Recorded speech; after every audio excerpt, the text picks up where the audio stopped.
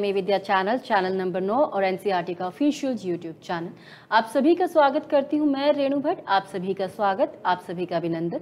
और अपने सभी देखने वालों को हम बता दें कि आज के इस सत्र में हम बात करने वाले हैं सोशल साइंस के नाइन्थ स्टैंडर्ड के स्टूडेंट्स के लिए। And that topic would be chapter one French revolution that means फ्रांसीसी क्रांति और इस शीर्षक पर आपको विस्तार से जानकारी देने के लिए हमारे एक्सपर्ट हमारे साथ स्टूडियो में मौजूद हैं।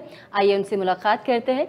आप हैं श्री पवन कुमार गुप्ता आप पीजीटी हिस्ट्री हैं केंद्रीय विद्यालय जनकपुरी नई दिल्ली से। सर आपका बहुत बहुत धन्यवाद।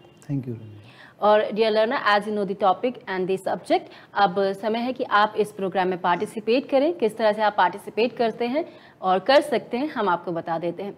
आप हमें कॉल कर सकते हैं, आप हमें ईमेल भी भेज सकते हैं। आप हमें कॉल करेंगे हमारे टेलीफोन नंबर पे, जो इस वक्त आपको अपनी टेलीविज़न स्क्रीन पर नज़र आ रहा है that is double eight double zero, double four zero, double five nine. इधर you can drop a mail at our email address that is D T H dot class ninth at the rate C I T dot N I C dot I N और अगर आप हमसे live streaming के through जुड़े हैं, यानी कि हमारे N C R T official YouTube channel पर हैं तो लाइव चैट बॉक्स में जाएँगे, अपना कमेंट वहाँ पर ड्रॉप करेंगे। इन तीनों ही तरीकों से आप हमसे जुड़ सकते हैं और आप अपने सभी सवाल, अपने सभी क्वेरीज हमारे एक्सपर्ट के साथ शेयर कर सकते हैं। तो we are expecting your participation और हम सर जब तक हमारे बच्चे और स्टूडेंट्स हमसे जुड़ते हैं हम आपकी तरफ़ रुख करते हैं। और सबसे पहले हम आपसे जानना चाहेंगे इस टॉपिक के बारे में। आज हम हमें पता चला था टॉपिक इज़ फ्रेंच रेवोल्यूशन तो इसके बारे में हम आपसे और जानना चाहेंगे कि ये क्या है और ये क्यों इतनी इम्पोर्टेंट है सर तो Renu ji history class ninth में there are so many chapters and first three chapters are particularly related to world history European history. Hmm. तो इसमें जो फ़र्स्ट चैप्टर है फ्रेंच रेवोल्यूशन इंडियन लर्नर्स जो French revolution है that is not only important for France but it is important for whole world you will see that even India is also affected from this French revolution so here we will learn about it so let's start our chapter French revolution and it is part 1. Hmm. So students uh, here you can see that uh, one of the pictures related to French Revolution. So what happened on the 14th of July 1789 the people of France. So they attacked on the jail and its name was Bastille. तो इतने सारे लोगों ने Bastille jail के ऊपर attack क्यों किया तो इसके बहुत सारे रीजन्स हैं and we will discuss these reasons one by one तो वहाँ पर क्या था कि लोगों के जो अटैक करने का रीजन था number one they wanted arms and ammunitions and number second it was just a symbol to attack on the despotic rule that was of Louis sixteen okay इस तरीके से आ, हम इसमें देखेंगे कि किस तरीके से वहाँ पर बेस्टिल जेल के ऊपर लोगों ने अटैक किया और hmm. इसके रीजन्स क्या थे। तो स्टूडेंट्स इन सारे रीजन्स को उन्होंने जो अटैक किया और अटैक करके वहाँ पर जो उसका इंचार्ज था जेल का उसको किल किया और उसके बहुत सारे जो पार्ट्स थे those were taken by the French people as their memory तो उन्होंने मेमोरी के लिए उनको बहुत अपने साथ में रखा। hmm. बहुत सारे लोगों ने उनको बेच भी दिया। तो बहुत सारे रीजन्स में we will discuss very first about the social reasons so social reasons are basically related to the society society of France तो इसको अगर हम स्टूडेंट्स uh, अगर इंडिया और फ्रांस की सोसाइटी से कंपेयर करें then you can understand it better जैसे इंडिया की सोसाइटी में हम देखें तो it is depended on varna system it is based on varna system Brahmin Kshatriya Vaishya and Shudra. In the same way what we see that French society and not only the French society we can see that the society of other countries too was very similarly divided तो we can see that there were three states जैसे hmm. यहाँ पर India में वर्ण है ऐसे ही वहाँ पर हम देखते हैं states states means social groups first state second state and third state so it is also known as old regime old regime means the situations before 1719 इसके पहले की जो सोसाइटी है उसको बोला जाता है ओल्ड रेजिम hmm. तो यहाँ पर हम देखें जो फ़र्स्ट टू स्टेट्स थे या ग्रुप्स थे तो first state state was nobility next was clergy sorry first was clergy and next was nobility तो जो clergy means just like the priest priest group जैसे pope fathers and nobility that was related to the knights ministers rich persons and powerful people in the same way third state तो third state में अलग अलग इसकी categories थी। तो first इसमें आता था अपर मिडिल क्लास जिसमें particularly educated and rich people इसके बाद में उनसे लोअर लेवल पर और सबसे नीचे लेवल पर थे इसमें slaves and peasants so this was the structure of the society first state second state and third state तो अभी हम देखेंगे कि जो first state clergy and nobility and common people so students this society was based on privileges ये जो है society privileges privileges means विशेषाधिकार स्पेशल राइट्स तो जो फ़र्स्ट टू स्टेट्स थे those had so many privileges and these first two states did not pay any type of taxes even they could impose the taxes on the third state third state पर वो taxes को लगा भी सकते थे। Okay now तो इसकी वजह से क्या था? So many people in France those were not happy with these conditions and they wanted equality in the society so this was the social reason okay now we will discuss the Political political reasons तो political reasons में हम देखें कि दो which were related to the system political system right तो इस political system में सबसे पहले हम देखें तो वहाँ पर जो वहाँ का राजा था लुई सिक्सटीन तो he became the king at the age of twenty years तो बहुत ही यंग एज में वो वहाँ पर अ, राजा बन गया। और राजा बनने के बाद में वहाँ पर he also related to Bourbon dynasty and it was a very famous dynasty in France and he married to the Austrian princess Mary Antoinette. और वहाँ पर फ्रांस में क्या होता था? Most of the people they did not like the Austrian people that's why those were not happy with the king and queen this was the another reason इसके बाद हम देखें कि whenever king wanted to impose the taxes जब भी राजा को taxes लगाने पड़ते थे तो टैक्सेस लगाने के लिए king had to call the meeting and this general meeting was known as estates general okay and estates general we can compare it with the we can say parliament. एक तरीके से सारे members को बुलाकर और फिर वो डिस्कस करता था कि whether the tax should be increase or not. And to what level the taxes should be increase okay तो यहाँ पर हम देखें कि लुई सिक्सटीन ने फिफ्थ में 1789 को एस्टेट्स जनरल की एक मीटिंग बुलाई। And in this meeting what we see that 300 members of first 300 members of second and 600 members of third state participated तो इसमें इट वाज आल्सो डिस्क्रिमिनेटरी तो जो फ़र्स्ट स्टेट और सेकेंड स्टेट के जो मेंबर्स थे यहाँ पर हम पिक्चर्स में देख सकते हैं उनको means they were given place to set but the members of third state they had to stand back side उनको खड़े होना पड़ा। इसमें और भी जो सबसे बड़ा रीजन था व्हाट हैपेंड फॉर्मरली कि जो वोटिंग सिस्टम होता था तो फ़र्स्ट स्टेट का एक वोट माना जाता था और सेकंड स्टेट का एक वोट थर्ड स्टेट का एक वोट तो जब भी कभी वोटिंग होती थी तो means first two states club together and they means always win the majority और जो थर्ड स्टेट था वो हमेशा माइनॉरिटी में रहता था।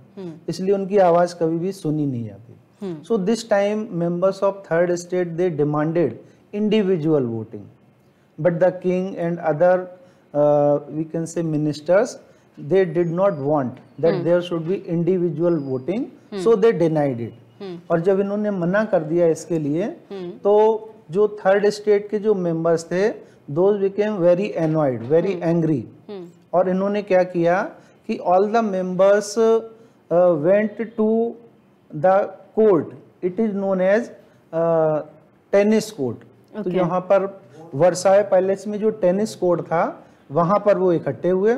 एंड उन्होंने एक वो किया एक ओथ लिया that we will make a constitution for the France and students it is known as tennis court oath okay तो तो इससे पहले क्या फ्रांस के पास अपना कॉन्स्टिट्यूशन नहीं था? जी नहीं। France okay. के पास अपना कॉन्स्टिट्यूशन नहीं था।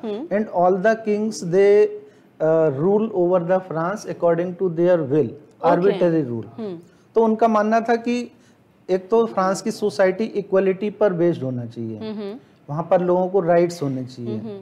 और दूसरा जो फ्रांस है वो एक रूल्स रेगुलेशंस या कॉन्स्टिट्यूशन के अकॉर्डिंग चले। तो यहाँ पर आप जो पिक्चर देख सकते हैं इसमें हम देखेंगे कि जो यानी लोग हैं वो इकट्ठे हुए टेनिस कोर्ट में और they declared themselves as a national assembly उन्होंने खुद को नेशनल असेंबली डिक्लेयर किया। Right Right. तो नेशनल असेंबली डिक्लेयर करने का मतलब उन्होंने खुद को एक पार्लियामेंट डिक्लेयर कर दिया। ओके और इस तरीके से अ, ये जो है there were so many influential leaders too influential speakers too and some of the speakers were related to clergy class. They were related to you can see here they were related to nobility. तो उन्होंने भी third state के लोगों का support किया। हालाँकि उनके numbers कम थे। लेकिन फिर भी there were some supporters of the third state तो आप देखें कि these were some of the political reasons and जब वहाँ पर टेनिस कोर्ट में थर्ड स्टेट के मेंबर्स जब इकट्ठे थे उसी टाइम पर क्या हुआ कि पेरिस में बहुत सारे लोग those who were very much annoyed who were very much tortured वो उन्होंने क्या किया they attacked on the Bastille jail तो यानी जब जहाँ एक तरफ़ फ्रांस का कॉन्स्टिट्यूशन लिखा जा रहा था वहीं दूसरी तरफ़ बाहर लोगों ने अटैक करके और बेस्टिल जेल को तोड़ दिया। जी सर जब क्रांति होती है किसी भी देश में जब रेवोल्यूशन होता है तो वो किसी एक रीजन से नहीं होता है। सोशल रीजन होते। हैं पॉलिटिकल होते हैं इकोनॉमिक रीजन भी होते हैं। आपने जैसे सोशल और पॉलिटिकल रीजंस के बारे में हमारे लर्नर्स को बताया तो there must be some economical तो व्हाट वर वो those Yes. Uh, so you asked very relevant question. So students here we can see the economic regions. Economic regions means related to money. तो जैसे हम देखें कि France की society में जो थर्ड स्टेट अभी हमने डिस्कस किया कि all the burden of the taxes was on the third state और जो फ़र्स्ट स्टेट और सेकेंड स्टेट के लोग थे वो कोई भी टैक्स पे नहीं करते थे। बल्कि थर्ड स्टेट के ऊपर और टैक्सेस को लगा सकते थे। So those people were over तो this was one of the reason this was the major reason तो यहाँ पर हम कुछ और इसके रीजन्स को देखते हैं। तो जब लुई सिक्सटीन जब किंग बना so at that time what he did he spent a lot of money to renovate the Versailles palace तो उसका एक जो महल था वर्साई में उसको उसने रिनोवेट करने के लिए बहुत ज़्यादा पैसा खर्च किया। एक तरफ़ तो उसका खजाना ट्रेजरी पहले से ही खाली था। And even then he spent a lot of money so इस तरीके से लोगों की प्रॉब्लम्स जो है वो और ज़्यादा बढ़ी। ऐसे हम देखते हैं कि at that time what happened in America American revolution happened there तो students in this chapter about this revolution has been given just like uh, the accordance of the incidents. But if you want to study more about this revolution so you can study it separately. And it is also very important revolution in the world. तो वहाँ पर क्या था कि जो England और France these were the enemy countries अब आप जब इस रेवोल्यूशन को पढ़ेंगे अमेरिकन रेवोल्यूशन को पढ़ेंगे तो आप देखेंगे कि अमेरिका में इंग्लैंड की थर्टीन उस समय कॉलोनीज थी राइट तो वहाँ के लोगों ने अमेरिका के लोगों ने इसको अपोज किया। और अपोज क्यों किया? कि जो कुछ भी अमेरिका के लिए रूल्स बनते थे इंग्लैंड में so means no representative of those colonies was there in British parliament तो इसकी वजह से जो आगे प्रोसीडिंग्स हुई आगे जो है इवेंट्स हुई उसकी वजह से अमेरिका के लोगों ने अपने इंग्लैंड के साथ में रिलेशंस को कट कर लिया and they declared themselves as a independent nation USA तो जो लुई सिक्सटीन थे उन्होंने चूँकि उनकी इंग्लैंड के साथ में एनिमिटी थी so he supported the people of America तो आप देखिए कि एक तरफ़ तो पहले से ही there was a economic crisis और उन्होंने दूसरी कंट्री के या दूसरी जगह के लोगों को अननेसेसरी सपोर्ट किया ड्यू टू पॉलिटिकल रीजंस तो इससे जो फ्रांस की इकोनॉमिक कंडीशन थी वो और ज़्यादा खराब हुई और ज़्यादा वर्स हुई। In the same way at that time king had to take a lot of loans तो जिन लोगों से किंग ने लोन लिया था now those people were demanding more interest rate तो वो और ज़्यादा इंटरेस्ट रेट चाहते थे और ज़्यादा इंटरेस्ट चाहते थे। तो इन सारे रीजन से हम देखें तो here you can see some of the taxes right तो चर्च जो टैक्सेस थर्ड स्टेट के ऊपर इम्पोज करता था those taxes were known as tithe and it was one tenth part of their production और अर्निंग्स इस तरीके से टाइद ये फ़र्स्ट स्टेट के द्वारा चार्ज किया जाने वाला कर था। नेक्स्ट कर या टैक्स जो था that was taille right so this was imposed by the clergy तो क्लर्जी न सिर्फ़ उनसे और जो यानी नोबिलिटी थे उनसे टैक्सेस इम्पोज करते थे। But the people of third state they had also to render services उनको सर्विसेज़ भी देनी पड़ती थी। और इस पिक्चर में आप देख सकते हैं जो नोबिलिटी है नोबिलिटी का जो रिप्रेजेंटेटिव है उसको has been shown just like the spider and the people of third state has been depicted as fly उसको मक्खी की तरह दिखाया गया है। तो इस तरीके से जिस तरीके से जो मकड़ी है वो जाल बुनकर और मक्खी को अपने कैप्चर में कर लेती है the same situation has been depicted here. So इसी तरीके से there was one more reason कि जो फ्रांस की पॉपुलेशन थी that was increasing at that time rapidly so students here you can see some of the datas and these are very important for your answers तो इसमें हम देखें कि 1715 में इसकी जो पॉपुलेशन थी दैट वाज 23 मिलियंस और आगे चलकर जब ये रेवोल्यूशन हुआ 1789 में at that time the population increase by 28 millions तो इस तरीके से जब पॉपुलेशन बढ़ेगी तो नेचुरली जो रिसोर्सेज हैं, उनके ऊपर प्रेशर बढ़ेगा और गवर्नमेंट का जो एक्सपेंसेस हैं, वो भी बढ़ेंगे. So these were students the reasons related to economy और economic reasons now students uh, we will discuss some very other important regions hmm. Th those are philosophical regions hmm. philosophical regions means uh, कि France की society में किस तरीके से वहाँ पर intelligentsia ने वहाँ के स्कॉलर्स ने और वहाँ पर जो यानी एक तरीके से इन्फ्लुएंशियल पर्सन्स थे hmm. उन्होंने लोगों को मोटिवेट किया उन्होंने लोगों को अवेयर किया hmm. कि means these two states are torturing you including king और इस तरीके से कि how can they get rid of from these tortures and exploitations so all such type of regions have been included in philosophical regions. तो इसमें हम देखेंगे philosophical regions में uh, सबसे पहले very important that is Rousseau Jean Jacques Rousseau तो इन्होंने एक बहुत ही फ़ेमस अपनी बुक लिखी that is the social contract. तो सोशल कॉन्ट्रैक्ट क्या था कि पहले के जो राजा थे those kings believed in the divine theory of kingship divine theory of kingship क्या था कि वो मानते थे कि राजा को ईश्वर ने राजा बनाया गॉड ने राजा बनाया। And those are the representative of God on the earth लेकिन जो रूसो थे उन्होंने इस चीज़ को अपोज किया। और उन्होंने बोला कि राजा को जो समाज के लोग हैं उन्होंने आपस में समझौता करके आपस में कॉन्ट्रैक्ट करके राजा बनाया है। सो so, अगर लोग चाहें तो वो उस राजा को रिमूव भी कर सकते हैं।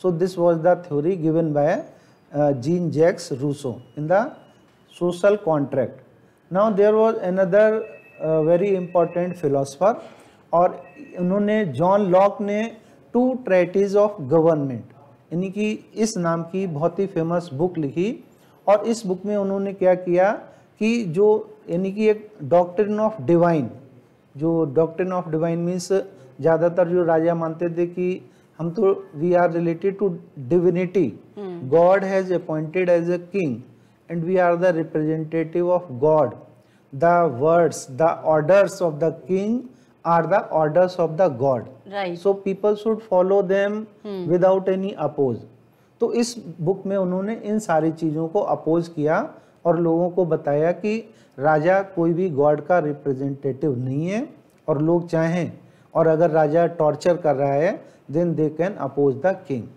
so such type of thing was put forward by the philosopher now next one was and it students it is very important and he was Montesquieu तो Montesquieu ने आपको देखें बहुत ही एक फ़ेमस बुक लिखी that was the spirit of laws and students in this book he gave the theory of separation of powers पहले के टाइम पे अभी हम देखें तो all the powers were in the hands of the kings right and which were those powers number one legislative powers यानी कानून बनाने की शक्तियाँ। तो कानून बनाता था राजा।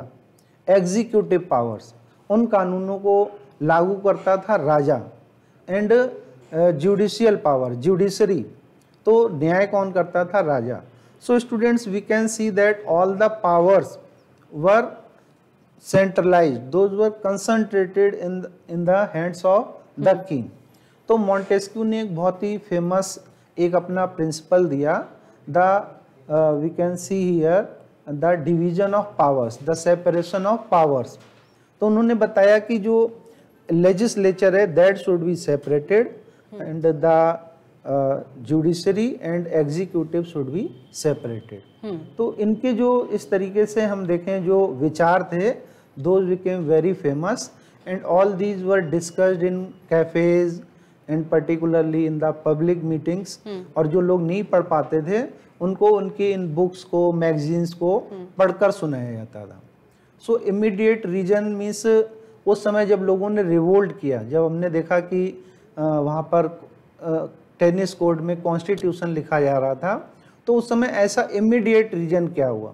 So students we can see that कि वहाँ पर जो है ड्यू टू सीवियर विंटर वहाँ पर जो क्रॉप प्रोडक्शन था that was affected very severely और नेचुरली जब हम देखेंगे कि यानी क्रॉप्स का प्रोडक्शन कम होगा तो जो चीज़ें हैं जो फ़ूड आइटम्स हैं उनके prices those will be automatically higher और एक तो ये था कि इनकी उनकी कीमतें बहुत ज़्यादा थी and second one we can see that scarcity of food and students if you will see that uh, these situations were very much similar if you are watching the conditions of sri lanka today.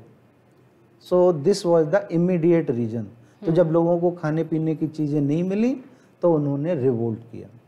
So students what we learn today we learn social reasons political reasons economic reasons and philosophical and ultimately immediate reason and here are some question for you for the practice you can practice these question at your home right आप यहाँ पर video pause करके इसका screenshot ले सकते हैं और ये सभी क्वेश्चन आप प्रैक्टिस कर सकते हैं। आप चाहें तो अभी भी भेज सकते हैं। हमारा ईमेल एड्रेस है D T H dot class nine at the rate C I T dot N I C dot I N हम, हमें आशा रहेगी कि आप ये होमवर्क या ये क्वेश्चन सॉल्व करके हमें भेजें। समय हमें बिल्कुल इजाज़त नहीं दे रहा कि हम इस सेशन को आगे बढ़ाएँ लेकिन हम अपने विशेषज्ञ पवन सर आपको बहुत बहुत धन्यवाद करते हैं थैंक यू मैडम कि आप हमारे स्टूडियो आए और आपने हमारे सभी स्टूडेंट्स को व्यूवर्स को फ्रेंच रेवोल्यूशन के बारे में इतनी अच्छी और डिटेल इन्फॉर्मेशन दी। आपका बहुत बहुत धन्यवाद। और डियर लर्नर्स इस ये समय है कि मैं यहाँ पे ये सेशन को समाप्त कर दूँ। I have to wrap up this session here only लेकिन आप कहीं मत जाइए आप बने रहिए P M E Vidya channel और N C R T official YouTube channel के साथ। आपसे थोड़ी देर में आप एक और लाइव फोनिंग प्रोग्राम का हिस्सा बन सकते हैं जो रहेगा वेबिनार। अभी फ़िलहाल मुझे रेणु भट्ट को दीजिए इजाज़त। नमस्कार।